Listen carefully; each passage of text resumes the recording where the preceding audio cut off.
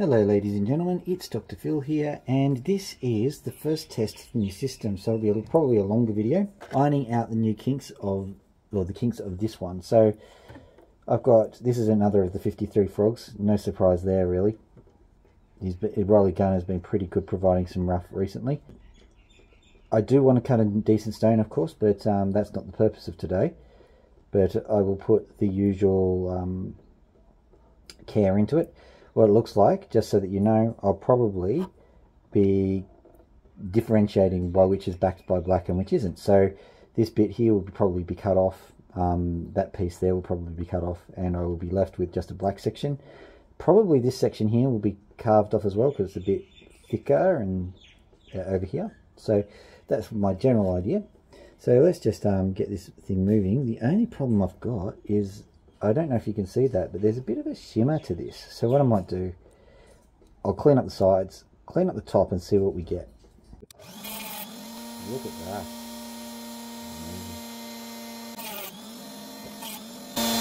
Okay, so there's a technique that I've learned from experience when doing this. Basically, sometimes you get opals which have got amazing properties from certain angles. So I will be cutting and I'll be cleaning as per normal, but I will actually be um, also testing out angles as I do it. So sometimes I'll be cutting at this angle, sometimes this angle, sometimes that angle, sometimes that angle, just to get put a few little facets onto the opal itself to see what and what, what happens. If I happen to notice it's something that stands out because I cut it off, but um, here you can just see a little piece that was that's flashing away from this angle so to me, that says that there's value in you know testing the angles at this point here. Bucket moving over. That's the first arm kink. So, oh, I see. Hang on.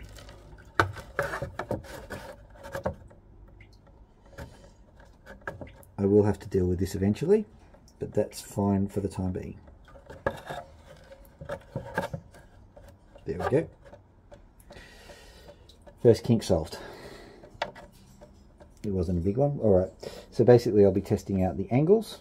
As you can see, what I might actually have to do, which is good for testing anyway, there's a bubble there, or cavity really. So basically I'll carve that off at the cavity and actually, just looking, sorry about this, there's actually a line of, a dark line, I'll cut along that dark line. So let's see if I can can you see that dark line? I'm just using the ordinary light. Let's just move the light so you can see. There we go. So I'll just cut along that line there. Just as a test section for my test cut.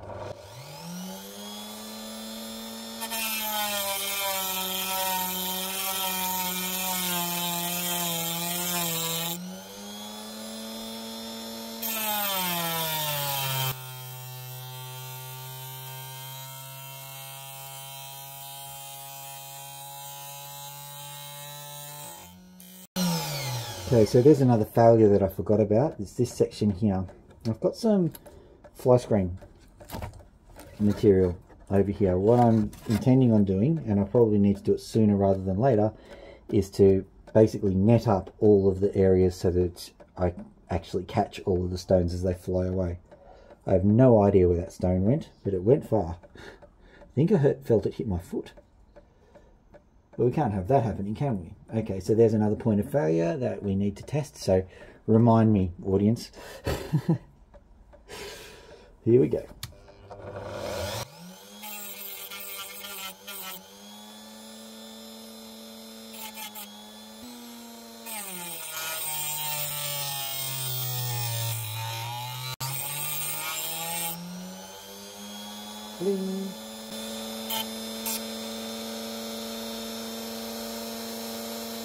I cut at multiple angles just to see what that was going to do.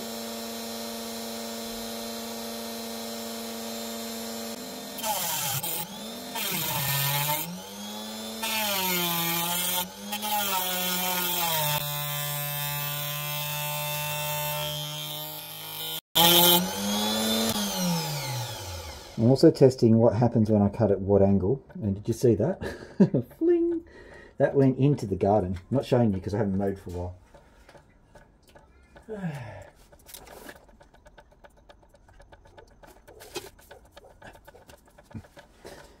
Found it.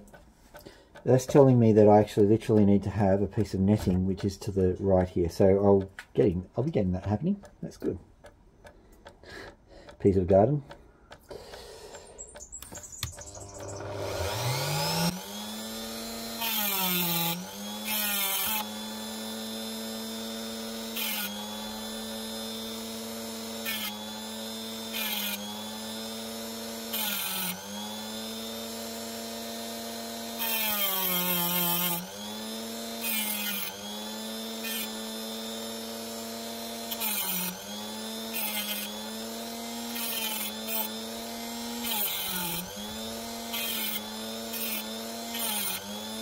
This one freeform I think.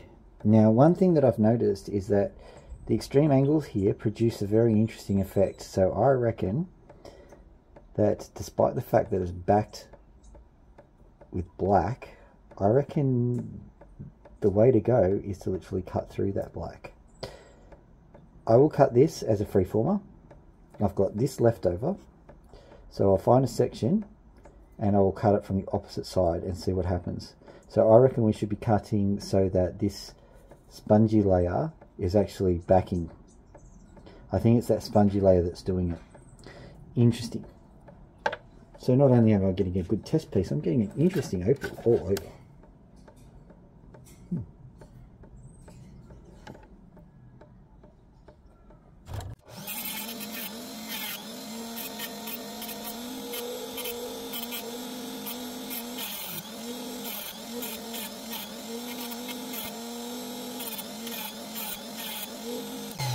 Okay, so that's my test done. as far as the opal is concerned, I'm giving it something called a laminar flow shape. What that means is that the shape is equal from the top and the bottom.